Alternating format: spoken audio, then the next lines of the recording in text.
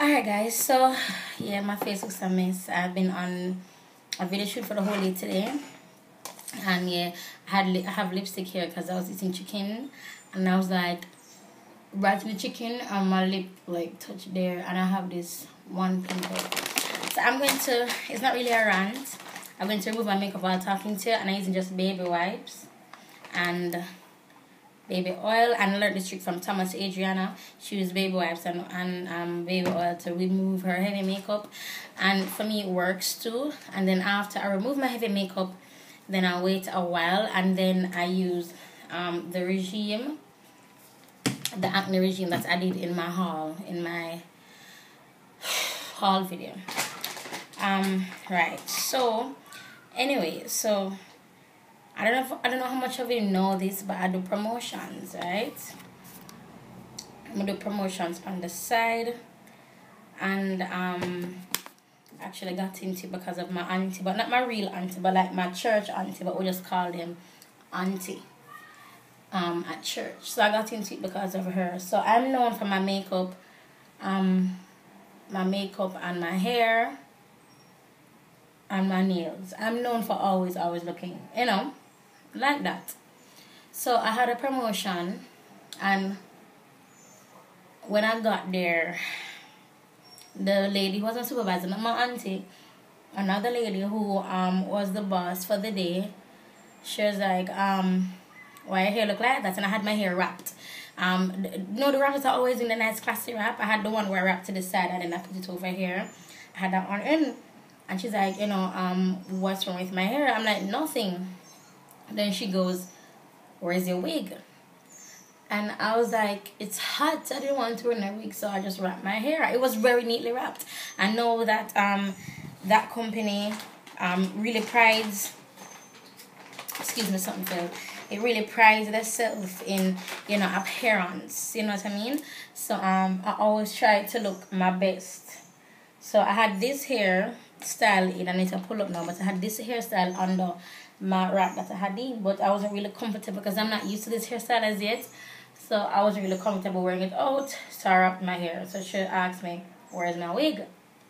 And I was like, when I was getting, when I was getting ready, you guys, it was really, really hot.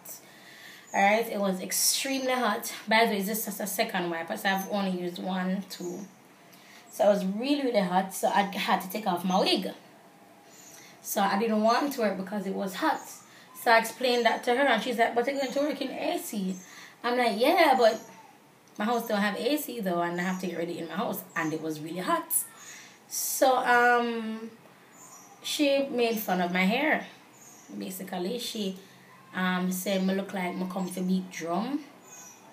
And she said um I need to go in the bathroom and look at what I look like. And it was just really hurtful and I was I was one day fresh off of my hairstyle, which I wasn't really comfortable with. I love it. I love how it looks, but it's I'm just not used to it as yet. So I was very uncomfortable with it. You see me? And my husband is my best friend, and I told my husband what was happening, and he was really upset. Cause he knows how I feel emotionally about my hair, and then to have somebody who don't know crap about why it is that I couldn't wear my weave or whatever, you know, would treat me like that so then immediately I went into is this a psychological thing? Is that that's pretty? That is pretty. I don't care how way you want to cut it. If you don't have long hair, you're ugly. And that's just it. So well that's what people would want you to think. Let me not say that. Can I tell my energy is low? Because I mean this happened when a day ago, two days ago. And I was just really surprised at by it. I just like homegirl asked me, "Where's my wig? Where's the wig?" I was like, I, "It was hot, so I didn't wear it." You going to, and then she's like, "Tomorrow, you make sure you wear it tomorrow. Make sure you wear it tomorrow." I'm thinking, homie, I'm not even gonna show tomorrow. But thank God, nature, wink wink for all my girls out there, stepped in and I really couldn't make it because the promotion that I was doing would I'd have to stand for five hours for the promotions I was doing promotion that I was doing. So thank God for nature and the Holy Ghost because I was not about to show up the next day. I was just furious. And um, excuse me, I just if I feel like wearing my freaking wig, I'm going to wear my wig. If I don't feel like wearing it, nobody, nobody is going to make me put my wig on. Excuse me? What you say? What? Where? Hmm? Eh? What you say? If I don't feel like wearing my wigs, I won't wear my wig. As much as I'm not really, as much as I don't really like this hairstyle on me, or as much as I'm not used to it, let me say that. As much as I'm not used to this hairstyle as yet, you can come tell me about pull it out. Pull out what? What you say? No. No, you. So that did really lick me for six. But not lie. That did lick me because it's not like we'll have that. Oh, and she was laughing, you know, so it was supposed to be a joke. You look like a comfy beat drum. and need to go looking at the mirror and look at what you look like. it was meant to be funny. But of course, I didn't find that funny. It just wasn't funny to me. So it's just, you know, a little observation. You have to be you. And you have to be comfortable with you. Granted, I wasn't comfortable with how my hair was looking, but I promise you, I was going to show up the next day with my hair like this. So I would have probably had to be sent home. You see me? And this is this is this is this is that's another reason why I don't want to work for people. It's another reason why I really chose to be an entrepreneur because it's like I make my own rules. You know what I mean? It's it's freer and for the line of work that I'm in, makeup artistry and music, they can't tell me how to dress. I uh, tell me how to do my makeup, what you say? My makeup what you say? My makeup too heavy? Don't look. What you say? Talking on my good ears. Talking on my good ears. What you say? You can't tell me that. Can't tell me. So it's not really a rant. I'm just really tired. I had a video shoot today which went amazing for Ivy Wed and I have a vlog. I filmed some of it, couldn't film all of it, but I filmed some of it. So yeah. And guys don't comment like, oh it's okay, da, da, da. it's fine, I'm fine. I'm just saying at that time that threw me for a loop. And if you have any um hair stories you know, with transitioning and people saying, you know, basically that you're ugly, go ahead, share it below and let's just start a discussion. Post a video response. Talk to me. I want to hear your feedback. I want to hear what you went through. I want to hear how you handled it because I've never stuck to gone natural before. It's the first time in my life I'm sticking to being natural for the rest of my life.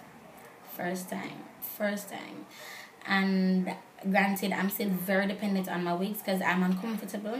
So I'm still very, very dependent on my wigs. But let me know what you guys, you know, you guys' story, you guys' testimony, what you do. My husband is a major support. Major. And my husband is actually one of the persons who is behind me 100%. Yeah, baby, go naturally. Yeah, baby, great. You're great. You're great. You're great. You're because he's not. His his hair is natural too, and his hair is long and thick and big. So um, you know, you know, he thinks it's gonna look cute when we're walking on the road together with our big hair and stuff. So I think it's gonna look cute too. So yeah, but the main reason why I chose to go natural is because I just love the look of big afro.